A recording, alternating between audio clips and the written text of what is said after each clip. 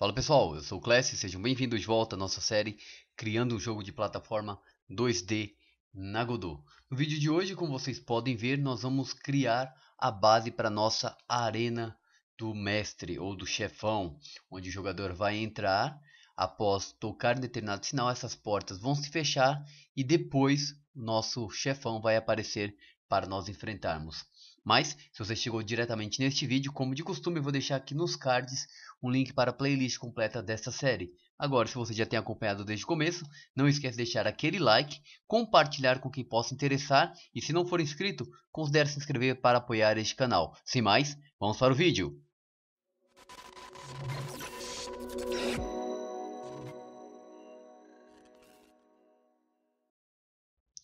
Bem, eu já estou aqui na Godot e esse é o nosso nível 2, tá? Eu fiz algumas mudanças aqui para vocês darem uma olhada no finalzinho. Tem esse espaço onde o jogador vai ter que pular e coloquei um continue logo antes do nosso chefão. E também coloquei essas plataformas, porque o nosso jogador terá que pular apenas na cabeça do chefão, tá bom? Então isso vai ser criado aqui então vocês podem copiar esse layout também, ou mesmo criar o de vocês. Vou dar um pequeno zoom aqui para vocês olharem. Basicamente foi essa a arena que nós criamos. Mas antes de criar a arena em si, eu quero mostrar algo interessante para vocês. Quando nós temos esse espaço, olha só, em um buraco, o jogador cai e ele não morre, ele continua caindo eternamente. Tá? Isso não é interessante. Lembra que nós criamos no nível 1 essas fall zones, essas áreas de queda onde o jogador ao cair detecta e dá um game over. Nós temos ela aqui, mas eu quero reaproveitá-la no nível 2. E para que isso fique fácil ter esse reaproveitamento, e lembrando também o que nós já vimos em aulas anteriores, basta clicar aqui na fall zone, aqui na minha árvore de nós, com direito, e escolher essa opção salvar galho como cena, save branch as scene. Eu vou clicar, e aqui eu já tinha pré-criado uma zone antes, vou dar dois cliques para sobrescrever, tá? Vocês podem salvar normalmente. E ao fazer isso, vocês vão reparar que essa zone, diferente dessa que é uma clone anterior, agora tem um ícone de claquete. Ou seja, ela pode ser acessada agora dentro aqui da nossa prefab, da nossa pasta onde eu salvei. Ela deve estar aqui mais para baixo. Ela aqui, tá vendo? Perfeito. Isso significa que se eu voltar aqui no nível 2, e aqui no nosso nó raiz, arrastar a nossa cena. Olha só, aqui está. Opa, espera que eu puxei o nó com tudo. Eu quero só a fall zone. E eu vou arrastá-la para cá. Então, nesta área, eu posso até fazer isso e colocar uma cópia só para não precisar aumentar tanto. Nesta área, ao cair agora já vai dar o game over. Eu acho que ficou muito alto. Vamos trazer para cá. Vamos testar para ver isso e você já tem essa reaproveita reaproveitada cena. Olha lá, Perfeito. Então assim a gente já tem o nosso Falzone garantido neste momento, tá bom? Vamos agora propriamente para a criação da arena. A primeira coisa que nós precisamos criar é uma nova cena aqui, que será uma área 2D. Vamos chamar de Trigger, que é gatilho em inglês. E terá também uma Collision Shape, uma colisão que vai detectar justamente quando o jogador entrar nessa área. Vamos aqui, Vamos dar um rectangle, new rectangle shape e aumentar um pouco para garantir que mesmo que o jogador tente pular, ele acabe detectando essa colisão. Tá? Então aqui está o nosso trigger, vamos falar aqui nos nossos prefabs, certo? E nós precisamos, para que essa detecção seja verificada, de um script. Vou adicionar um script aqui, vou até a pasta script.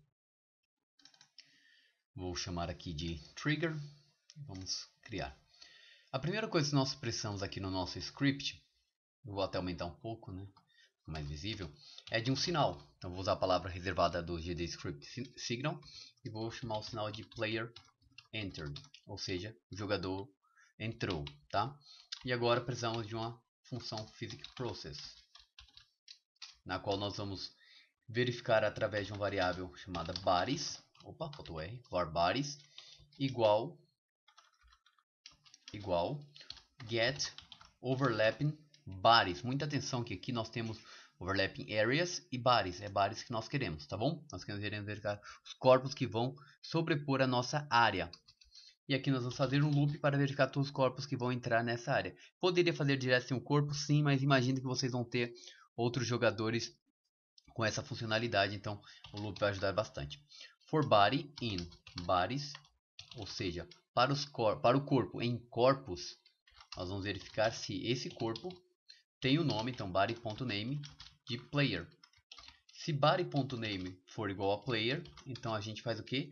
A gente emite o sinal, emite signal, player entered. O sinal que nós criamos lá em cima. E nós removemos essa área da tela. Tá? A gente vai deletar realmente essa área aqui do trigger. Vamos colocar no nosso no nível 2 aqui, nosso trigger. Está ele aqui, nosso prefab. Vou trazer para cá. Vou deixar aqui só para teste, tá? Claro que vai vir para essa área depois, mas só para vocês verificarem que já está funcionando. Olha só. Então, ele emitiu o sinal e ele deletou, tá bom? Bem legal isso aqui. Só que nós precisamos que algumas coisas aconteçam quando esse trigger for detectado. Eu vou trazê-lo já para a área que eu quero aqui. E entre as coisas que eu quero, a primeira delas é o fato de que a nossa câmera ela está acompanhando o jogador. Nós não queremos isso, nós queremos que ao detectar aqui, essa câmera pare. Olha só o que acontece, como eu mostrei anteriormente, vou baixar um pouco o volume aqui. Pronto, melhor. Vou chegar naquele trigger, tá? E ele vai ser removido. Vamos lá. Mas a câmera vai continuar seguindo. Eu não quero que isso aconteça. Então, nós vamos aproveitar uma propriedade aqui do nosso jogador. Vou entrar aqui no player. Nós vamos ver que na câmera, camera, nós temos uma propriedade chamada current, que é chamada exatamente como current, com letra minúscula, ela pode ser verdadeira ou falsa, tá? Nós vamos torná-la quando é, quando detectar o trigger como falsa. Então eu vou aqui no nosso trigger, tá? Selecionado ele, na minha node e eu tenho o sinal que eu criei, aquele sinal customizado. Vou conectar ao nosso jogador, tá? não ao banana, ao jogador.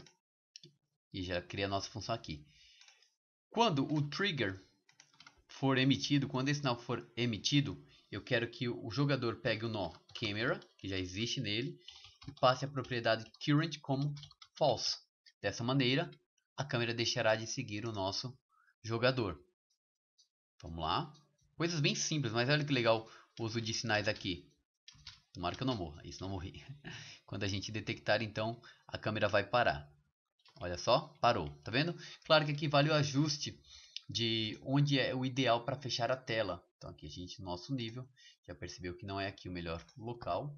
Vou trazer um pouco mais para cá. Talvez aqui. Feche bem interessantemente. Claro que isso vai depender do nível de vocês, tá? Mas vocês estão entendendo o conceito e é isso que interessa. Eu nem vou me perder muito a esse detalhe, mas é o fato que está funcionando. Olha só, fechou a tela, bem legal. E aqui, se eu for para frente, a câmera já não acompanha mais. Porque depois o nosso chefe vai aparecer nessa área e nós teremos que enfrentá-lo, tá bom? Só que agora nós temos um pequeno problema que é consertado nesses jogos de plataforma, que é o que? o nosso jogador ele consegue passar e a câmera não segue. A gente tem que impedir que ele se desloque. Então, para isso, nós vamos criar uma porta que vai trancá-lo nessa arena, tá bom? Vamos criar uma nova cena. E aqui nós vamos passar outra vez uma... Não, dessa vez um static body. Isso, um static body, que vai ser um corpo estático. Aqui, vamos para cá. Perfeito. Vou chamar de um, Arena Door vai ser a porta da arena. E aqui nós precisamos também de uma colisão, é claro, porque tem que ter detectado isso e impedir que o jogador passe por ela. E também nós vamos precisar do nosso sprite, só que aqui a gente vai fazer de uma forma diferente. Vamos primeiro colocar essa arena aqui como detectável na camada certa, ela vai estar na camada word e ela detecta o player, tá? Mascara o player aqui, tá certinho. Perfeito. Vamos aqui nosso prefabs, arena door, está salvo. Perfeito.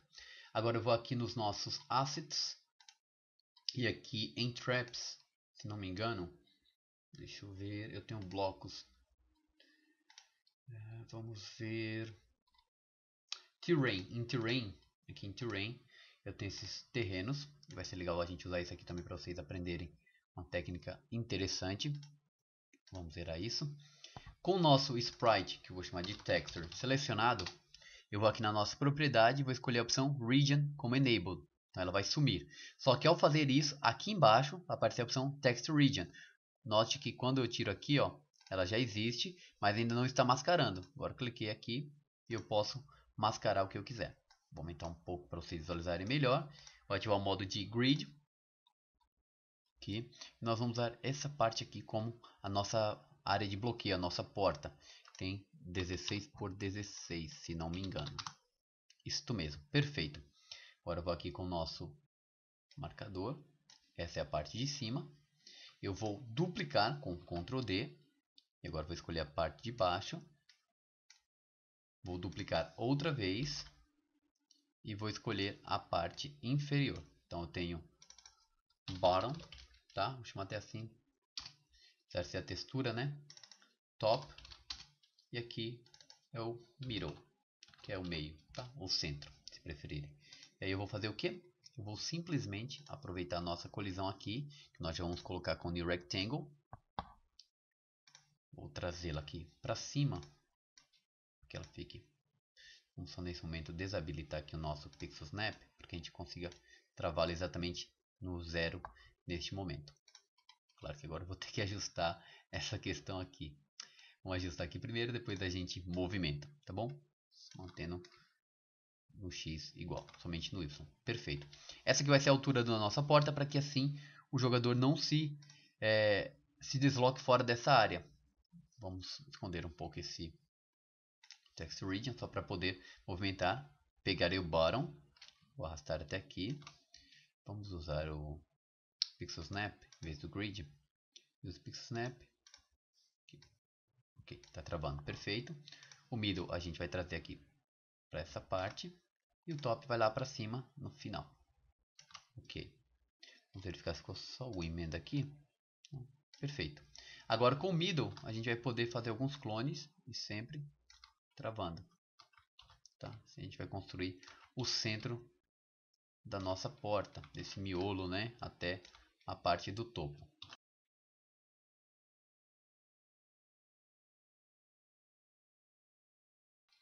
Pronto. E agora, para que isso fique organizado, uma questão de organização mesmo, vou colocar um nó 2D. Vou chamar de texture. Agora sim, eu pego todo esse conteúdo e jogo aqui para dentro, para ficar organizado essa árvore de nós. Tá bom? Bem legal, né? E assim a gente consegue controlar esse objeto e esse outro separadamente. Vamos salvar. E agora o que, a gente precisa? De um animation player que nós vamos fazer com que essa porta apareça somente após o jogador entrar na cena. Aqui o anime, diminuir um pouco essa área, ok. E aqui no nosso animation player, vou colocar a colisão acima só para a gente visualizar melhor. Vou criar duas animações, uma disabled, tá? Ou inactive se vocês preferirem, mas eu vou colocar disabled, que é quando a porta ela não vai estar é, detectando o jogador ainda. E para isso a gente vai deixar ela aqui como inicial. E depois aqui a gente vai ter uma outra animação chamada Active. Tá? Vou deixar aqui as duas. Podia ser Enable também, não tem problema. O importante é que nessa daqui nós queremos que a colisão e a textura estejam desabilitadas, apesar de criadas aqui, tá? A gente vai chegar aqui, ó, aqui no Transform, vai dar uma posição para esta e uma posição para esta. Transform Position. Perfeito. Só para que ela fique marcada aqui. Mas ela está desabilitada. Então ela tem que estar abaixo deste nó. Tá? Vocês vão perceber isso agora. A gente vai pegar essa posição desse valor aqui. E vamos diminuir 170. Vamos ver. Opa. Vamos pelo, pelo Y. Perdão. Aqui.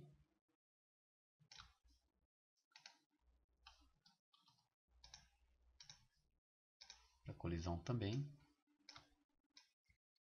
Trazer para cá, para que ela não seja detectada. Ok. 109 positivo, deixa eu ver aqui. 109, preciso garantir que essa textura está ok. 109. E aqui também 109, certo? Agora para animação de ativo, nós vamos fazer o contrário. A gente já vai aproveitar aqui a posição onde está, 109, criar, criar também aqui para textura, aqui, cadê? Position. Avançar um pouco, acho que ponto 7 está bom. Vamos mover até aqui em cima e criar uma nova posição 2D. Vamos ver agora a colisão. Até aqui também. Um pouco mais abaixo. Aqui. Desabilitar temporariamente. E vamos criar também a nossa posição. Dessa maneira, ela vai fazer essa animação. Tá bom? Agora só nos resta colocar isso em cena. Vamos aqui no nosso nível 2. No level. Pegar Prefab Arena Door. Está aqui. Trazer para esta área, que é onde a gente quer que trave. Tá? Vale lembrar que ela está aqui em cima. Vamos verificar com o Play se aquela é inicial. Tá? Garantir isso. Opa, eu tinha que morrer, né? Demorou para acontecer. Mas está funcionando, isso é legal. Eu vou mover o player lá para frente depois para ficar mais fácil. Ó, ela está aqui bloqueada, tá vendo? Porque ainda não sabe qual é a animação padrão que ela tem que trazer. Nós queremos que a animação padrão seja a disable. Agora que estou vendo que tem um probleminha aqui na nossa texture porque a texture está como? Vamos ver aqui. Menos 109 por algum motivo nossa textura não se moveu.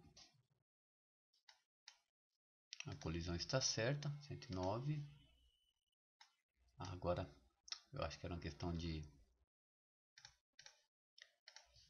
apenas Só olhar para cima. Tá, ele está usando como referência aquele ponto. Então, vamos fazer o seguinte, para garantir se acontecer com vocês também. Vamos remover isso aqui, tá? Vamos trazer ele até este ponto. E agora se nós criamos 207 o ponto. Criamos essa posição. Perfeito. Ela vai ser inicial. Então, voltando aqui para nossa tela, ela já está aqui embaixo. Olha só. E agora, quando detectar este objeto, essa área 2D, nós vamos fazer com que esse objeto ele tenha a emissão, ele receba a emissão do sinal e ele suba, tá bom? Para isso a gente precisa de um sinal nele também. Um script, perdão. Precisa de script aqui. Vamos colocar aqui na nossa pasta script. Arena Door. Ok. Criar. E aqui também já vamos passar um sinal que a gente vai usar na próxima aula, que é sinal Arena Door Closed, aliás. Porque a porta se fechou. Door Closed. Certo? Se essa porta se fechar, a gente vai enviar depois o chefão, tá bom? É sinal que a gente vai verificar. Salvar isso aqui. E agora nós vamos conectar o sinal do trigger. Voltar aqui em Player Enter. Aqui. E vou, aqui aliás, conectar agora com a nossa Arena Door. Percebe que eu estou conectando vários. E o que, que vai acontecer quando isto for detectado? Quando essa colisão acontecer aqui efetivamente? Nós vamos chamar o nó anim do nosso é, Arena Door e vamos dar um play em